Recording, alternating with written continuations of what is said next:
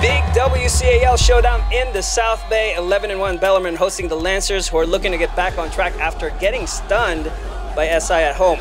This game is brought to you by the Sereno Group Real Estate, always serving the local community, and by Pro Sport Training. If you want to be the best, you got to train with the best. The Bells believe that they will win. Let's see if that's true.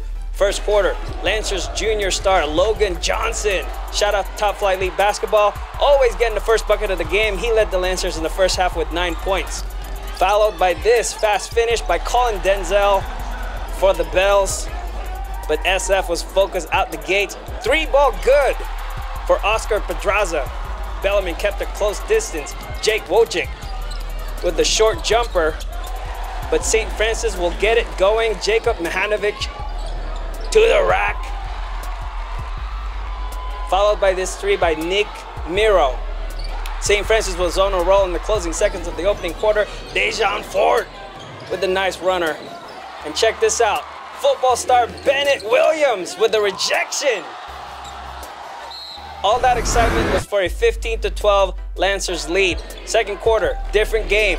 Bellarmine would outscore the Lancers 23 to 11. Angelo Athens, shout out to Top Flight League Basketball, started the three-point clinic, followed by Kiran Kruse.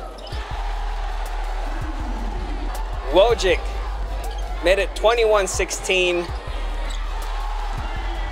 Kendall Stubblefield got in the action as well. 21, 24 to 16. With about two minutes left, Wojcik for his second three. 35 to 26 Bellarmine at intermission. Wojcik had 10 for the Bells at the half. Third quarter, SF looking to come back. Pedraza for three.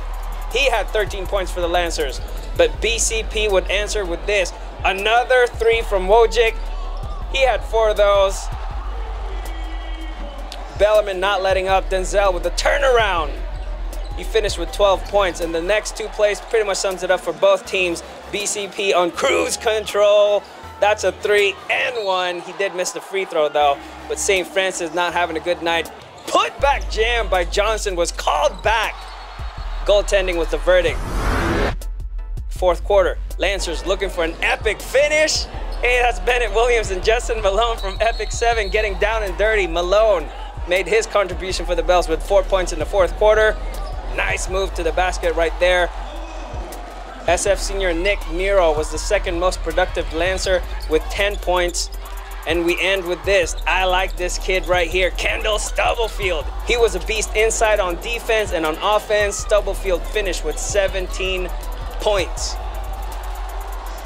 Bellarmine remains unbeaten in the WCAL. I talked to the Bells junior guard, Jake Wojcik, who finished with 21 points after the game. It was a huge win. It was a huge win. Uh, they came out, they battled with us first half. They played well throughout the whole game, and that was just a great win overall, team effort.